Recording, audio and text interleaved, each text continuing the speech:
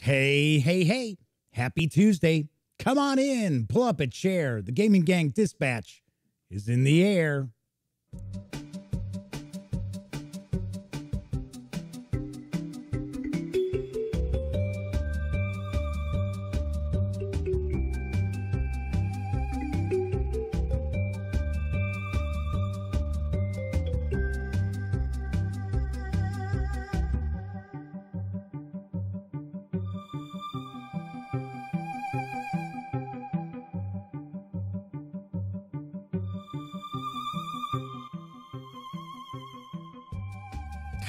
Howdy, howdy, howdy, gang. Welcome once again to the Duct Tape Studios. I'm Jeff McAleer, your host here at the Gaming Gang Dispatch, brought to you by thegaminggang.com, which I happen to be the founder and editor in chief. So, welcome aboard. Tonight is Tuesday, April 13th, 2021. This is live stream number 647 it's your first time joining me, I usually spend the dispatch half of it, the beginning portion of the show, by sharing the latest in tabletop gaming news, and then follow up with an unboxing of a board game, or maybe we'll take a first look and page through a role playing game book, something like that. So tonight, I've got plenty of tabletop gaming news, and I am also going to be unboxing and taking a first look at King of Tokyo Dark Edition from Iello Games. So that is coming up in just a little bit. If you are watching live, well, the news usually takes about a half hour. If you are watching after the fact, then by all means, there will be timestamps. You can jump ahead if you want to uh, skip the news and just check out the unboxing and first look. So, do want to point out if you like this video, by all means, please give it a quick thumbs up. Subscribe to the Gaming Gang channel if you haven't already. And if you do subscribe, ding that bell. It'll not only let you know when the dispatch streams live Monday through Thursday nights right here on YouTube. It'll also let you know when I upload other videos as well, such as my review of World's Fair 1893 this is the Amazon exclusive from Foxtrot Games and Renegade Games Studios. This will be up later on tonight. That review will be live after the show, and it is the Gaming Gang review number 749. So, yes, rapidly approaching the 750th review from thegaminggang.com. Now, all of them are not video reviews because for the first few years we only did written reviews. But I think it's about half and half. I think overall, I think there's about 350 video reviews. So there is a lot there for you to take in. Of course, when you're not watching videos on the Gaming Gang channel, be sure to visit thegaminggang.com for the latest in tabletop gaming news, reviews, and a whole lot more. You know the drill. Get your geek on at thegaminggang.com. So if you are watching live, obviously this is a live stream, so that means there is chat available. It's not on screen. One of the ways that uh, I keep some of the more unusual commenters at bay, but I do my best to pay attention to chat. So if you want to say howdy, or maybe you got a question, a comment, by all means, please chime in and I will do my best to respond. So, first out the gate tonight is the Motor City Madman. Yes, the Madman, one of our chat moderators, is with us in chat. Clint Gibson has just arrived as well. So, uh, before we jump into some things, I see Clint's here, and I keep forgetting to ask Clint, did you not get a copy of the Symbaroum starter set PDF? Because I know you were one of the winners. That was the contest we had. Uh, gosh, was it last week? I think it was last week. Was last week Symbaroum week? I forget. I swear.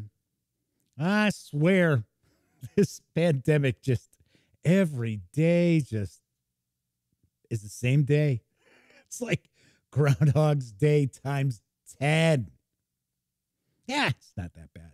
So, Clint, let me know because I know Boel from Free League Publishing, I believe, this is what I kind of heard through the grapevine from some of the other winners, is she actually sent out not only the starter set PDF, but the core rule book, the advanced players guide, as well as I think it was the game master's guide as well. So she went all out with everybody who was a winner. So I thought that was very, very cool.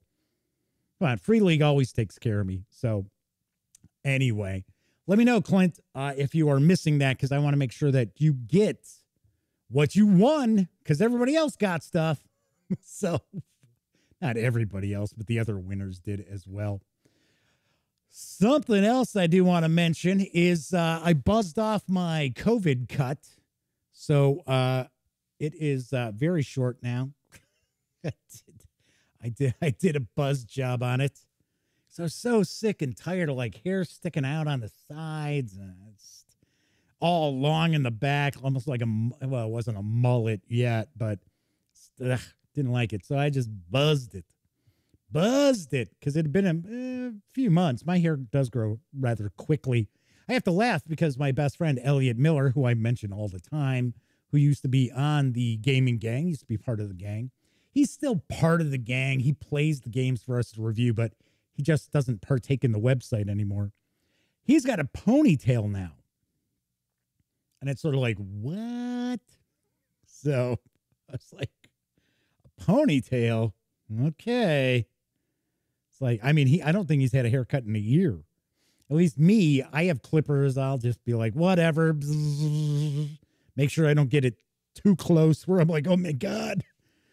So hopefully I did an okay job. So Clint says that uh, it was no, but it might be on their end. They don't know where to go. So Clint, do you, if you have a DriveThruRPG account, then that's where you had to go. You had to make sure that your email that you gave me was the same for your uh, your DriveThruRPG account, and that's how Boel was going to send the PDFs.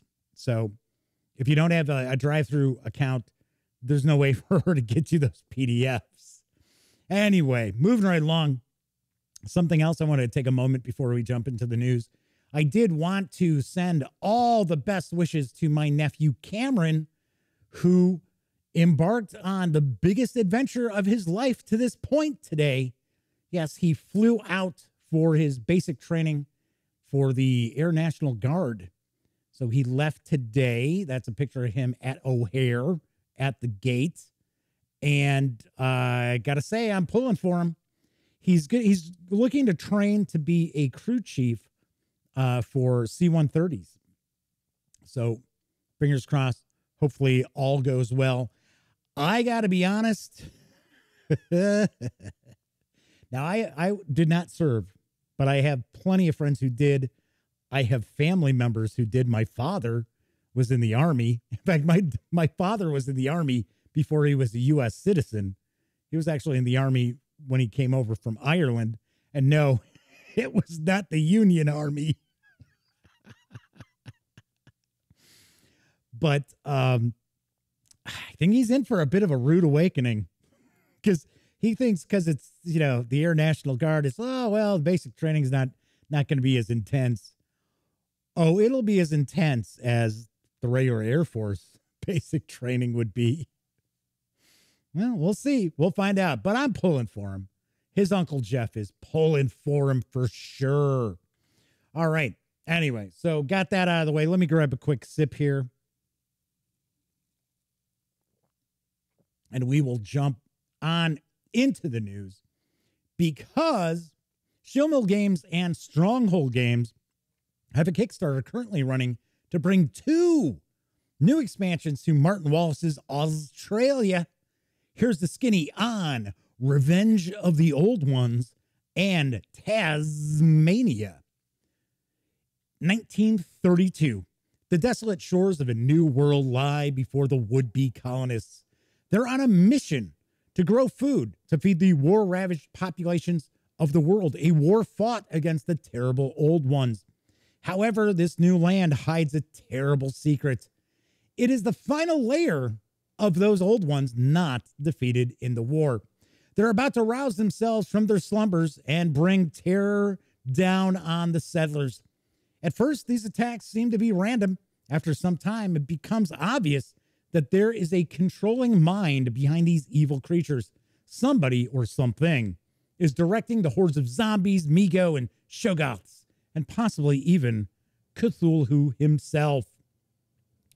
In Auztralia, Revenge of the Old Ones, you're enabled to play a game with one player controlling the forces of the old ones. This allows the game to be played by up to five players, as well as being able to decide where to place their forces. The old one player can also summon terrible creatures from the void to create even more havoc.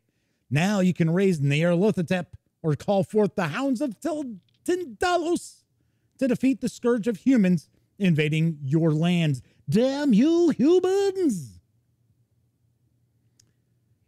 Let's talk a little bit about Tasmania. In Australia, humanity came to build a new world after a long war against the old ones. They failed. The old terrors were waiting for them and pushed them back to the coast. Now their only hope lies in a nearby small island, Tasmania. Will this be the promised land? Auztralia, Tasmania is a dual map expansion for Auztralia. It's because of the Z's, folks. It's because of the Z's I'm doing that. This dual map expansion is designed specifically for one or two players, or if you're playing with the Revenge of the Old Ones expansion, three players. One side has a fixed map that's surveyed for resources and old ones, while the other side is randomized through a set of 66 terrain tiles. There is a short Kickstarter video, so let's take a peek. Two new expansions are being added to the Auztralia universe.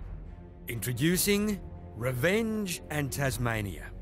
In Revenge, players will be able to play as the Old Ones, legendary creatures who are enraged by humanity's intrusion into their territory. Add 30 new monster cards, as well as abilities for human players to keep the Old Ones at bay. Add an additional player seat increasing the maximum players from 4 to 5, or playing solo mode. In the expansion Tasmania, humans have fled the Australian mainland to escape the old ones. This expansion contains a new island territory with two maps. These new maps allow for new strategies to develop, including a play mode with 100% randomised geography. Use the hidden map and explore Tasmania. But be careful walking into the unknown. Be ready, monsters will attack quickly in this treacherous land. Order your copies of Revenge and Tasmania today.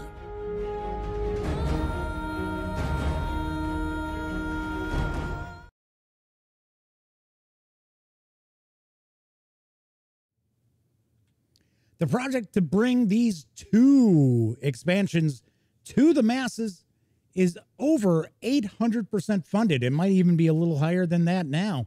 You can reserve a copy of both expansions for a $59 pledge through April 22nd with an expected delivery this year, actually, this November. Nice. I like Auztralia. I thought it was pretty cool. I enjoyed it. I, I got to be honest. I think Elliot really likes it a bit more than I do because to me, and I, I like Martin Wallace. Don't get me wrong. I mean, some some people have a you know an issue with him. It, it has nothing to do actually with his game designs. But I tend to find that Martin Wallace's designs always have like one little wrinkle that you're kind of like, huh. hmm. Do I like that or do I not like that? Now, like I said, I like Auztralia. And uh, but I, I think other people out there probably like it more than I do.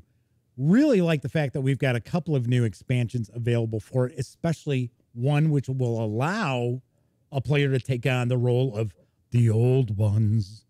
Sweet, very cool, very cool.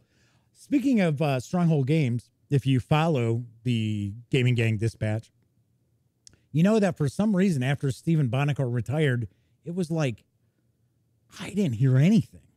from Stronghold Games. I mean, nothing. No news, no anything. And it's not like I'm sitting there like, oh my gosh, I gotta get I gotta get more review copies of stuff. Because to be honest, some of the really light games that Stronghold does are the really abstract games.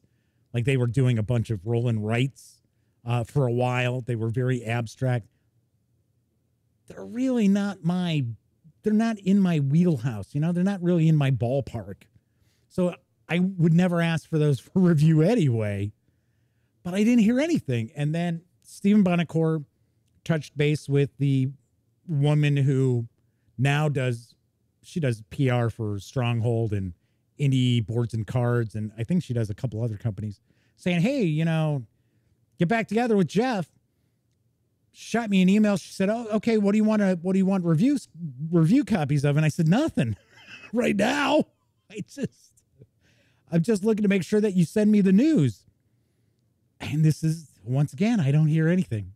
And then, what was it? Yesterday, I got an email saying, "Hey, uh, it was like CCing me in, saying, "Hey, uh, make sure Jeff's getting copies of all our releases and stuff." And I'm like, "How about just sending me the news?" just thought it was weird. Thought it was weird. Plus, Stephen is doing game reviews now. I don't know. He's like the gaming godfather or pod. Well, I know he was the podfather before, but I, I think it's he's like gaming godfather or something. Ah, Stephen's a good guy. He's one of he's one of my best pals in the industry. We go way back. All right. So uh, a gray day in Flaming Huron have joined us in chat. Very cool. Very cool. So uh, they're talking about a little bit about Auztralia, and Flaming Huron is from Australia, saying there's no great old ones roaming the streets there. Auztralia is a, a pretty good game. Like I said, uh, like I said, Elliot likes it more than I do but it is kind of interesting and it's it's kind of odd that like the continent had not been colonized until like the 1930s but it's uh strangely enough it's actually set in a timeline from a Neil Gaiman story. So it's it's like in that uh what is it? A study in emerald i think it's called? It's been a long time since i read it. All right. You're to notice there's a theme that's running through some of our news tonight, and it's pretty obvious. Moving right along, arriving in July from Iello Games is Sticky Cthulhu. Here's the deets. Cthulhu, Yellowfish. Cthulhu has been awakened, and now it's time to eat. The Ancient One spreads his tentacles and devours anything he can grab. Sticky Cthulhu takes the fun of Sticky Chameleon in a version more insane than ever. Roll the dice, catch, and eat the cultists, and make your opponents go crazy. Electrifying, delirious, slimy, Sticky Cthulhu is insanely hilarious. Anytime anybody tells you something's hilarious, I can guarantee you it is not. Now, I'm not saying this isn't fun. I'm telling you it's not hilarious or people don't understand the definition of hilarious. In Sticky Cthulhu, each player has a long, sticky tentacle, and the table is covered with six types of creature tiles in six colors, along with a few investigator tokens. To start a round, someone rolls the two dice, one showing a color, the other a creature. Then everyone rushes to grab the appropriately colored creature tile by slapping it with their tentacle. The round doesn't end until someone removes the tile from their tentacle and holds it in their hand. This player scores a point, then you do it all again. As you collect deep ones, these point tokens, you'll suffer curses that will force you to wield your tentacle in unusual ways. Whoever first scores the predetermined number of points wins. Sticky Cthulhu is for two to six players, ages six and up plays in around 25 minutes, which is a lot longer than I thought it would play. It does carry an MSRP of 19.99 and it's hidden stores this summer. Nice. Very cool. If you got kids you like silly games, this is probably going to be up your alley. If not, Probably not. All right. Next up, today marks the launch of a new Kickstarter to bring the Symbaroum fantasy role playing setting to 5th edition Dungeons and Dragons. Here's the latest about Ruins of Symbaroum from Free League Publishing. The acclaimed setting of Symbaroum has enticed and fascinated fans of tabletop role playing games since the launch of the game in 2016. Now, this dark and mysterious world welcomes an even wider audience with the production of a player's guide, game master's guide, and bestiary adapted for 5e, published under the Open Gaming license. Note, you're going to need the core 5e rule books to fully enjoy Ruins of Symbaroum. The rich and nuanced Symbaroum setting revolves around the Ambrians, a civilization that two decades ago were forced to flee their ancestral soil after a devastating war. Their new and promised land borders on the vast forests of Davokar, covering the remnants of the Empire of Symbaroum, which fell into ruin hundreds of years ago. Brimming with natural resources and mythical treasures, the forest calls out to the Ambrians to be explored and plundered, but the road into its depths lies far from open. Not only are the shadows beneath the foliage, I should say foliage, English, Jeff, English.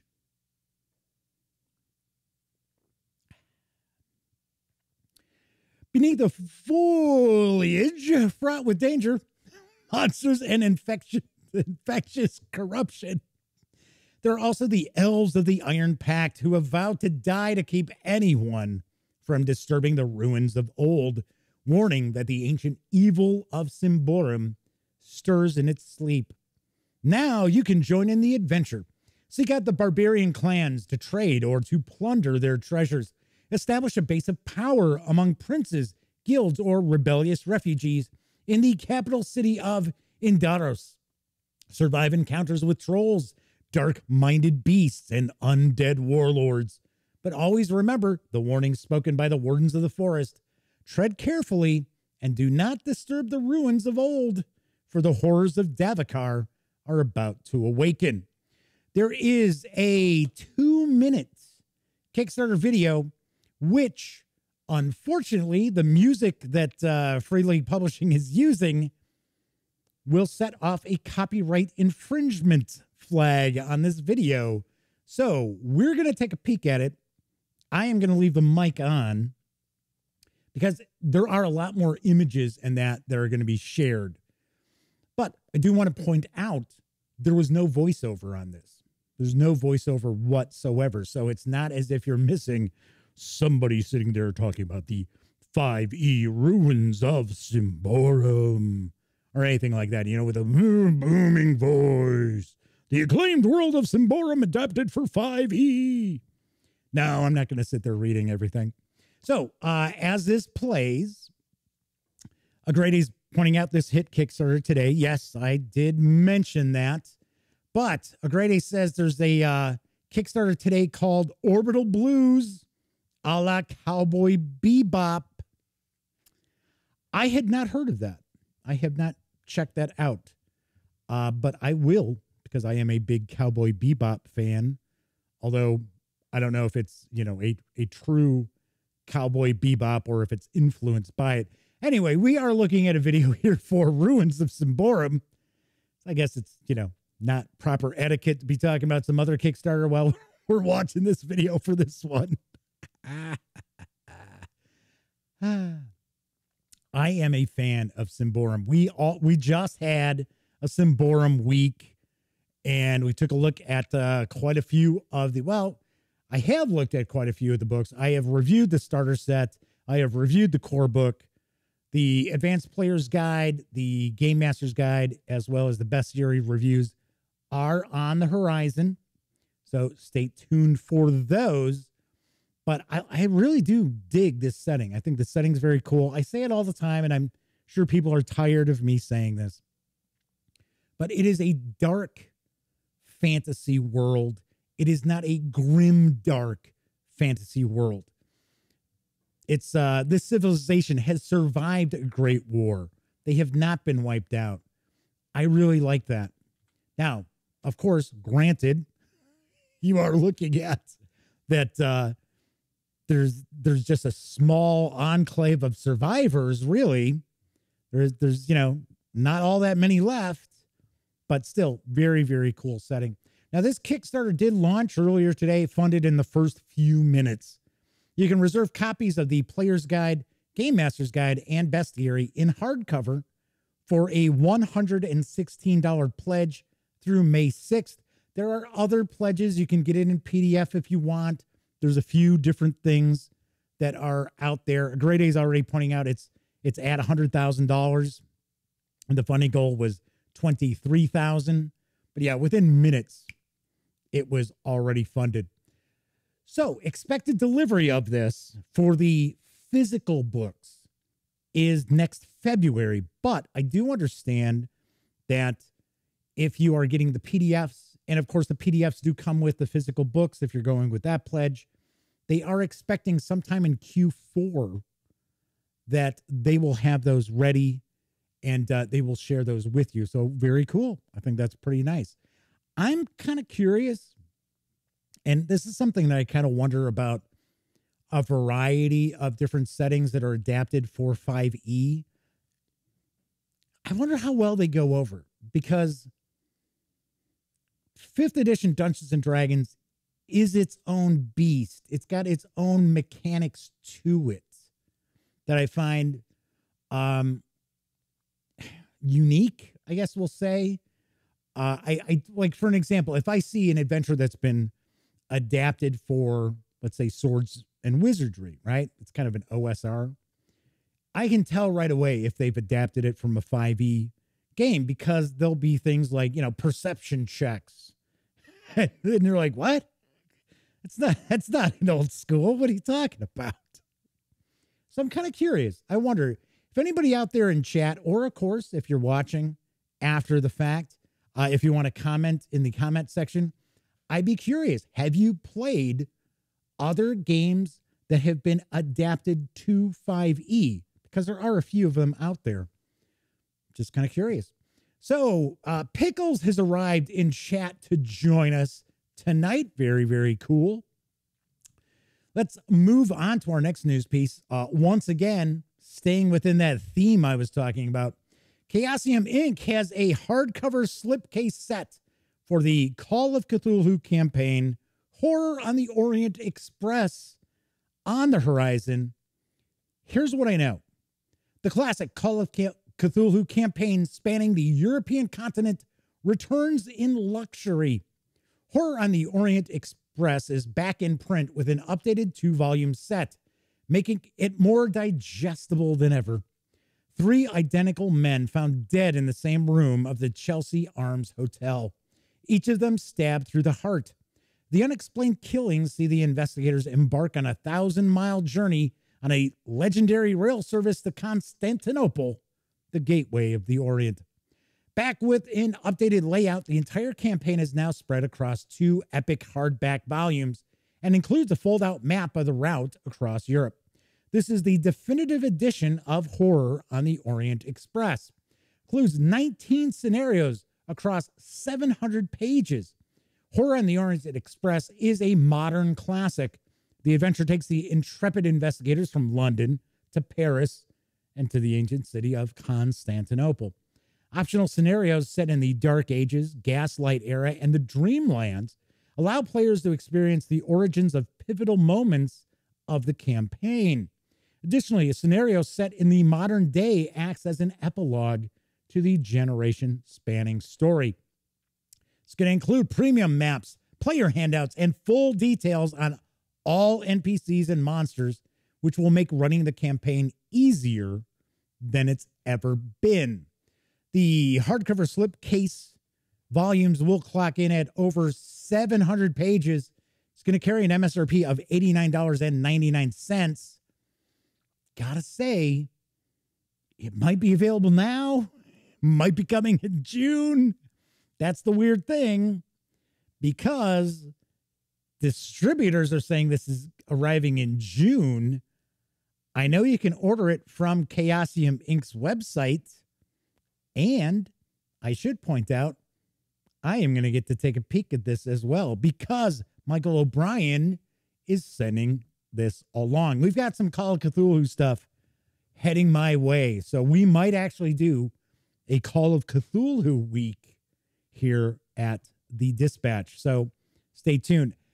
I will mention that this is actually the 2014 edition of Horror on the Orient Express. This is not a completely new revamped edition for Call of Cthulhu 7E. So keep that in mind. Now, according to Michael over at Chaosium, that is something that they have plans for, but we're talking years away. So, so just to point that out. Don't want anybody thinking, oh my gosh, this is going to be like Masks of Nyarlathotep, where it's kind of revamped and it's it's all for 7E CFC. It is not. But this has been out of print. So this will give you an opportunity to grab it. You can get the PDF, of course, over at DriveThruRPG. I believe it's $59.99. And if that's the case, by all means, spend the extra 30 bucks and get the hardcovers. All right, my final news piece. One of the hot sellers on Dungeon Masters Guild is the first volume of Puzzle Masters. Here's the dope. Greetings, traveler. You're invited to the grand opening of Enigma's premier puzzle dungeon. Congratulations on receiving this illustrious invitation.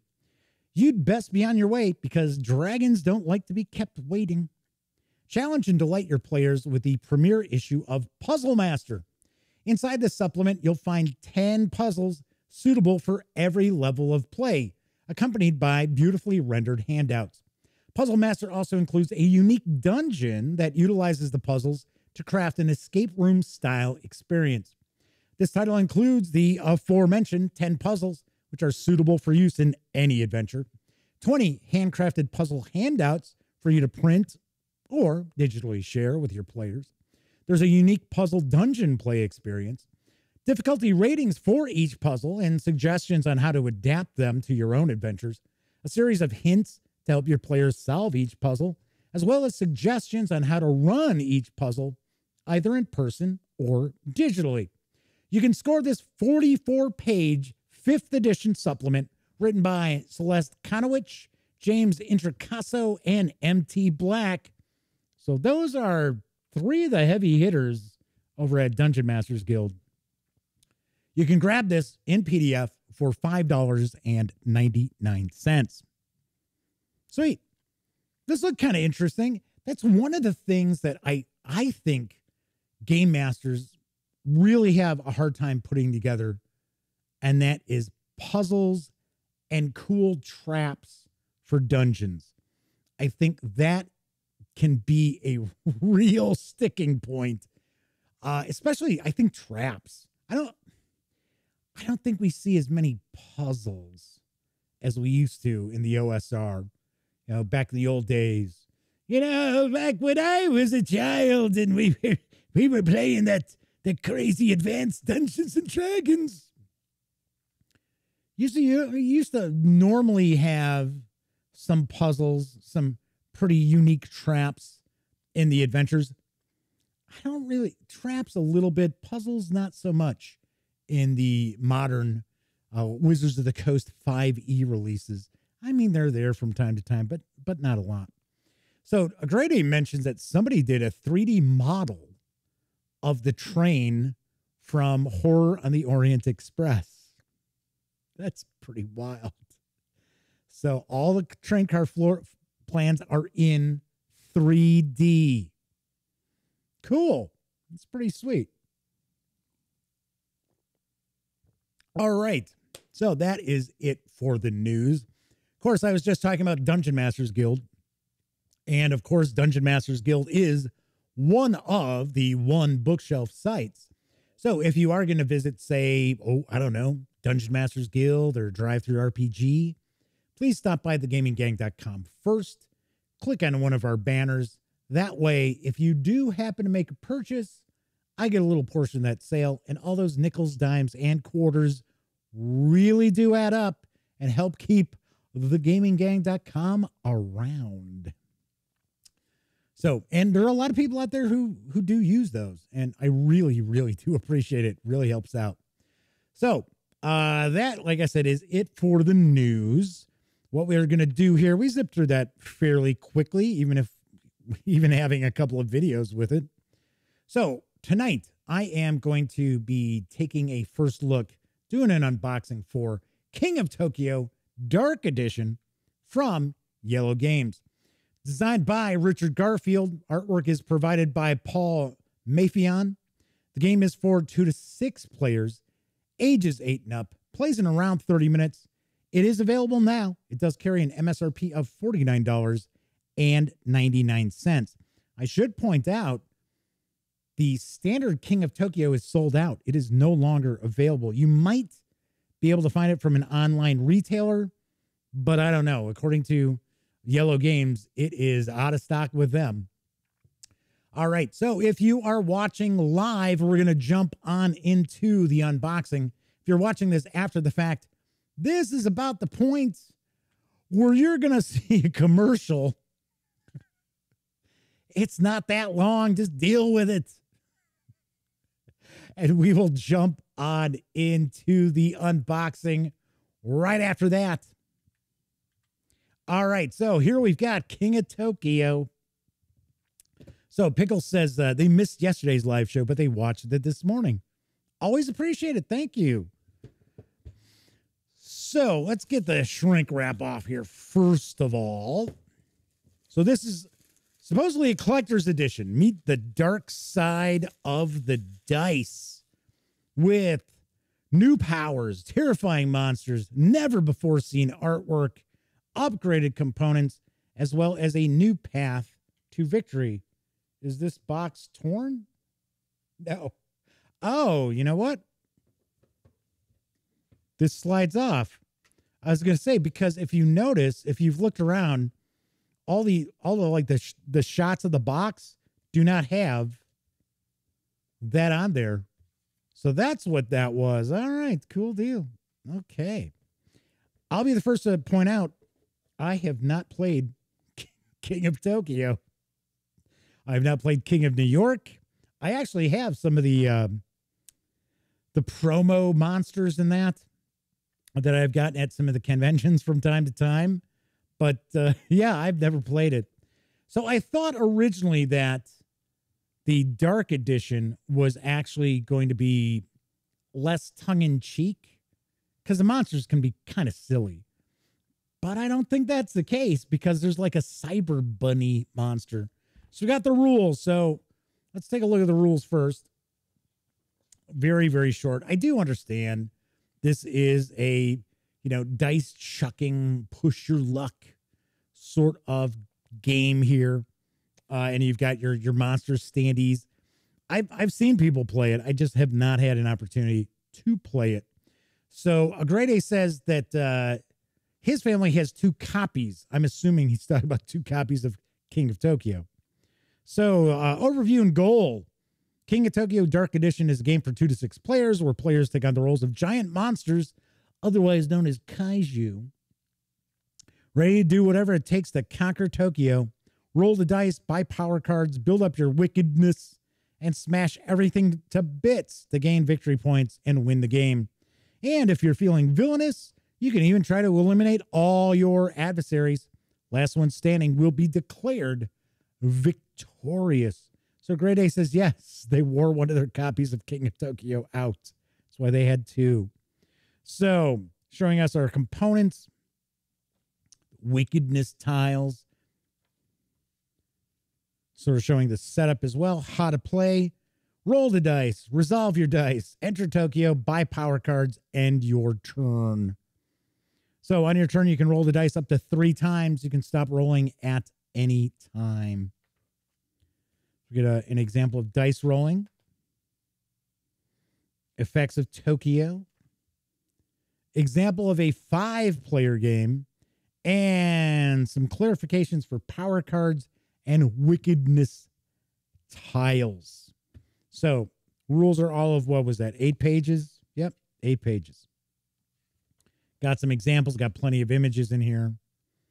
Easy peasy, I must say. All right, so I'm to double check. Looks like uh looks like we're in focus. so yeah, a little bit of yesterday's video was out of focus. So thankfully it wasn't the entire unboxing. So what do we got here? We got some sort of like power tokens almost. Dual sided. So uh relatively thick cardstock here for that punch board. We've got the, I guess these are the wickedness tiles. So I'm going to take a guess that these are wickedness tiles here, and those are powers over here. So we got Barb's Underdog, Have It All, Final Roar, Defender of Tokyo, Poison Spit, Starburst, and then the wickedness here. Full generation, eternal, devious, skulking, Skybeam, evil lair. Or maybe these are like Tokyo powers. Because I thought I thought the powers are power cards that you buy. Well, we'll find out. Continuing along because looks like next up, oh, we've got an insert here. All right, come on. come on, insert. So this is the board. Oh, okay. So it's just like so. So that is our board here. So that is in Tokyo, and that is out of Tokyo. And it's a little warped. Gotta say, it's uh just a hair warped. You'll notice it's not not laying flat. You know, that's easily remedied. So there is the Tokyo board.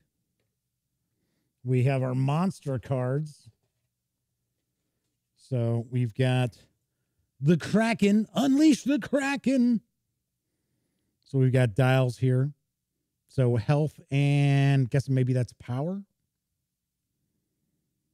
So we've got dials for that. We've got the Mecha Dragon a la Mecha Godzilla. We got the Cyber Bunny, as I mentioned, kind of kind of silly there. We got the Alienoid.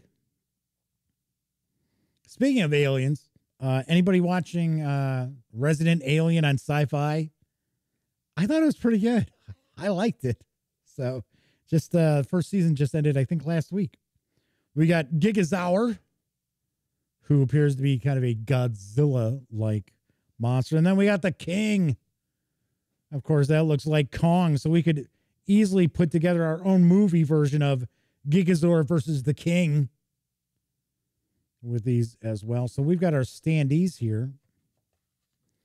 And these are pretty good card stock as well. So there's the King. There's the Kraken. I can tell that's the Mecha. What was it? Mecha Dragon. The Alienoid.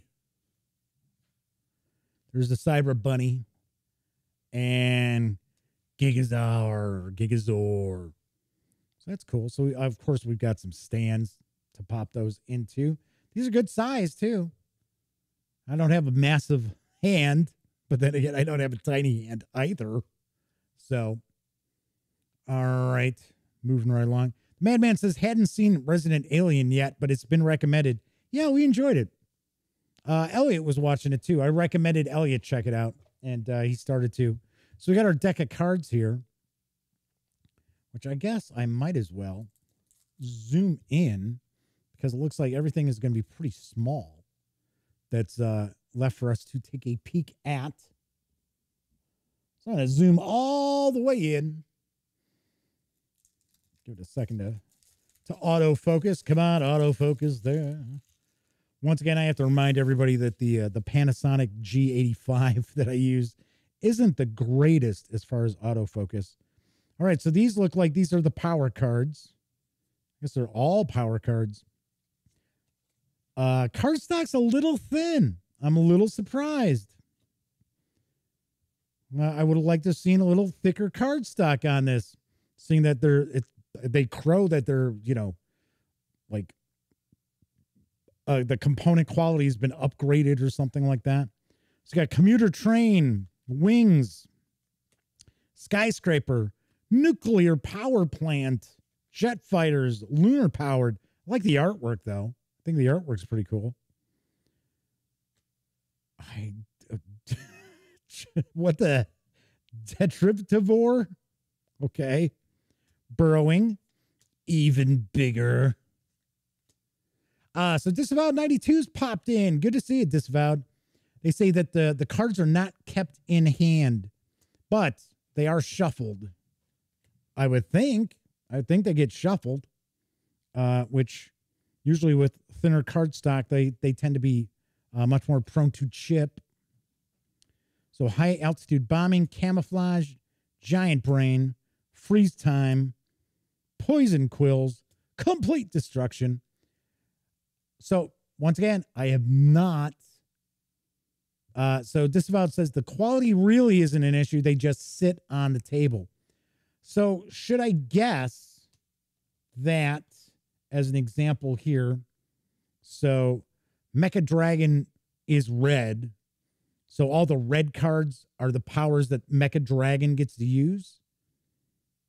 Once again, like I said, I uh I I haven't played.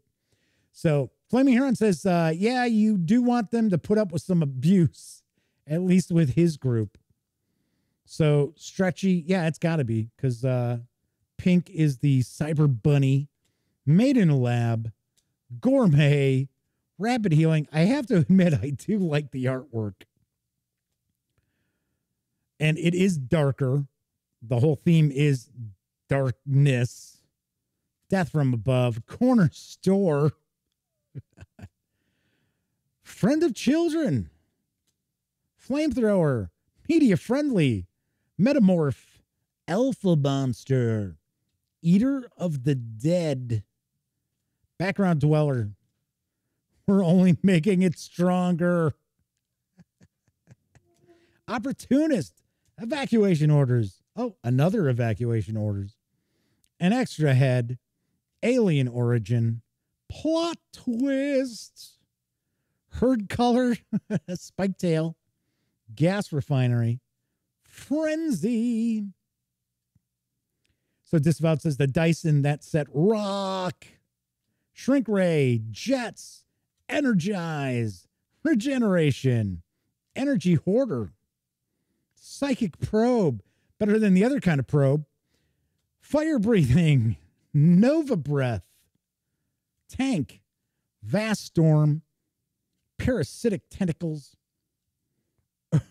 herbivore, like an urbavore, unstable DNA, super jump, reflective hide, natural selection, zombify, monster pets, hibernation, and nanobots. Cool. Nice. Like I said, I, I do I do dig the artwork on these. So we've got the various different power cards for each of the monsters.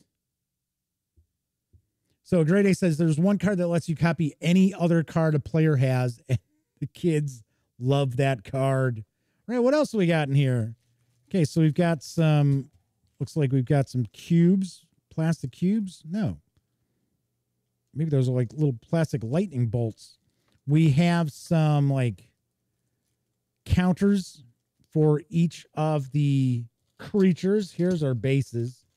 Here are the dice. So these are the custom dice. Wow, these are nice. Uh, these look like they glow in the dark right there. I would not be shocked if those glow in the dark there. Then we've got these other dice. And uh we that looks like that is everything from here.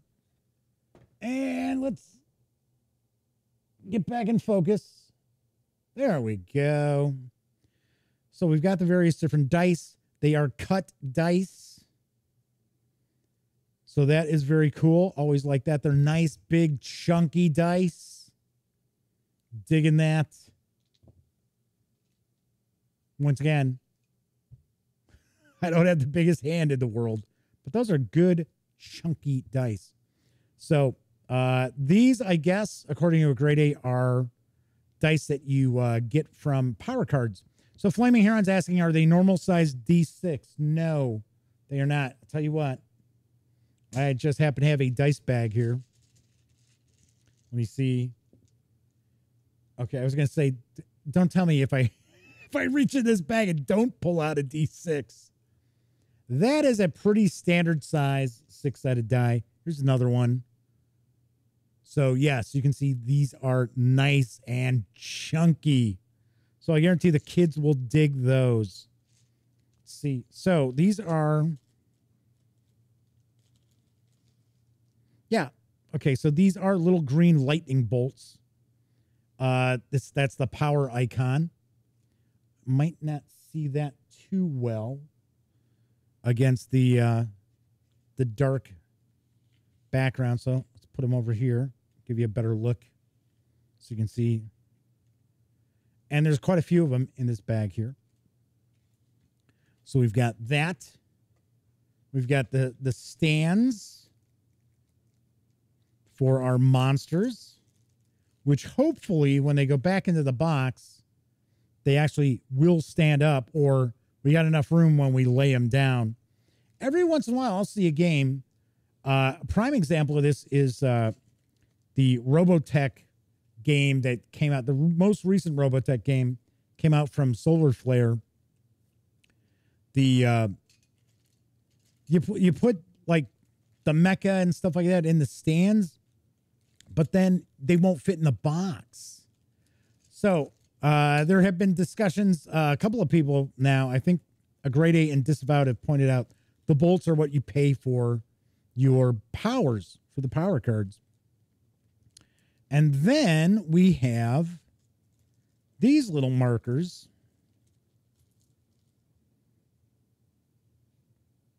And they are not stickers. So they look like they're laser printed on. And that is each of, it looks as if each of the different monsters has their own little icon here. So that's the bunny. That's the cyber bunny. That's the alien. This is the Gigazaur, I think it was. Uh, I'll take a guess. That's the king. This is Mecha Dragon. And what was the other one? What's the what's the blue?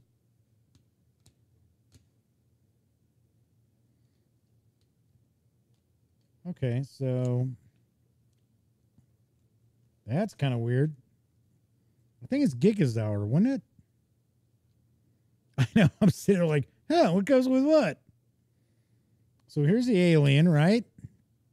Here's the cyber bunny, like so, right? We got that. We got the alienoid. We've got Gigazaur. We've got the king. We've got the Mega Dragon, and that would be the Kraken. So I guess it's more green than blue, but this looked a little more blue.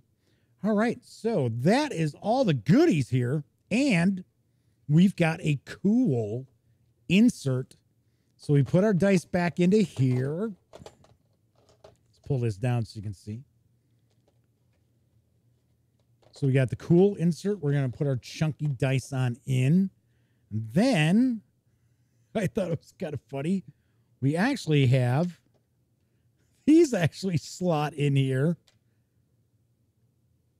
All right, which one's going where? Does it? Nah, that doesn't look right.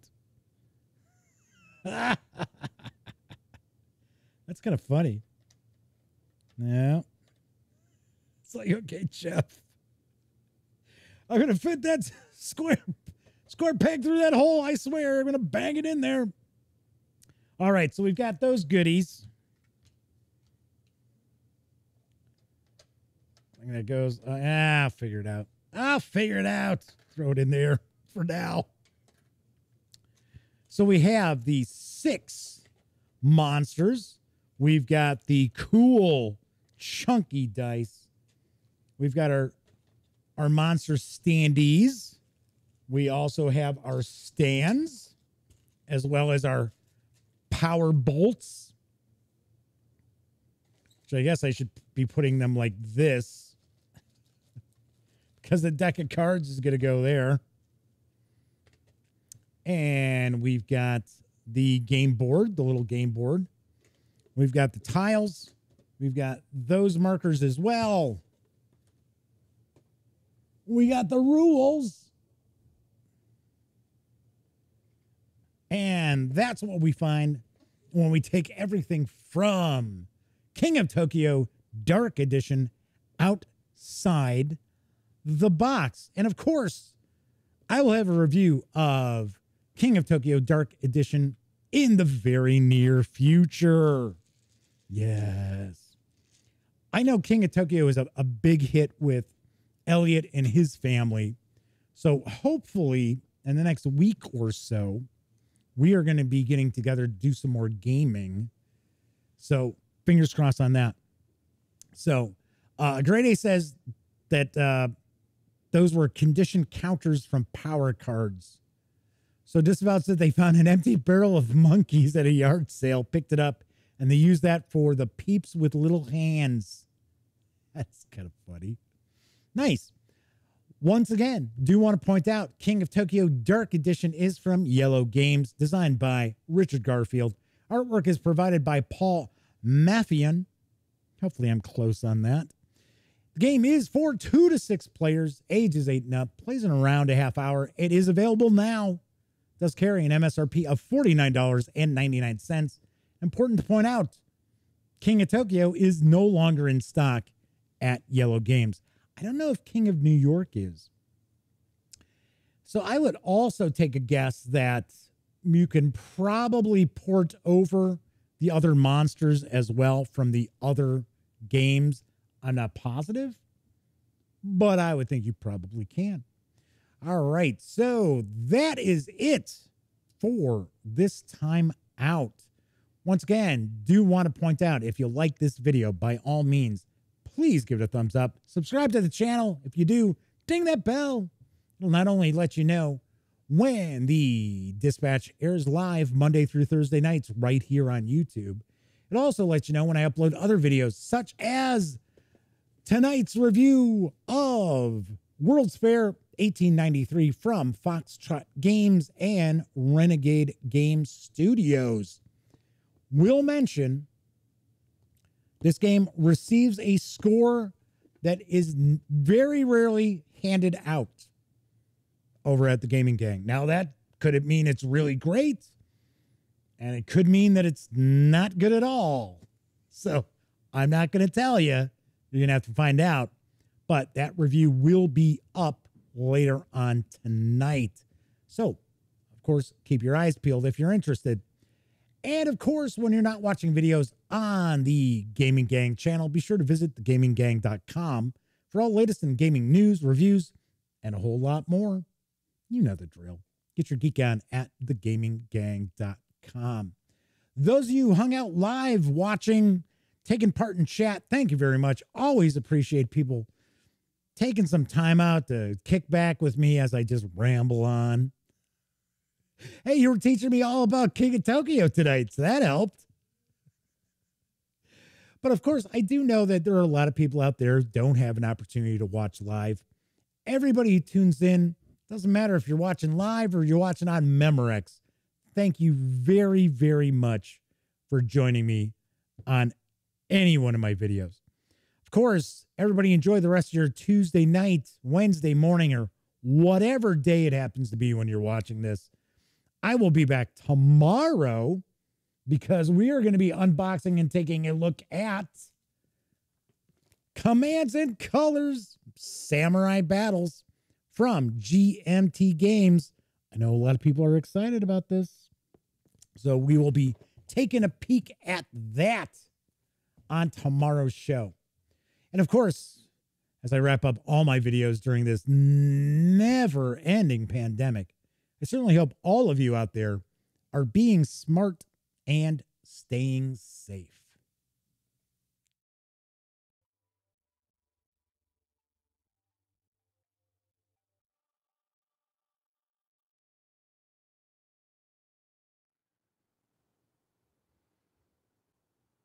Oh, hey, you're still here.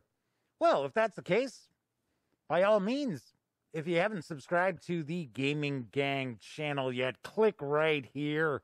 If you'd like to see the latest episode of the Gaming Gang Dispatch, click right up there.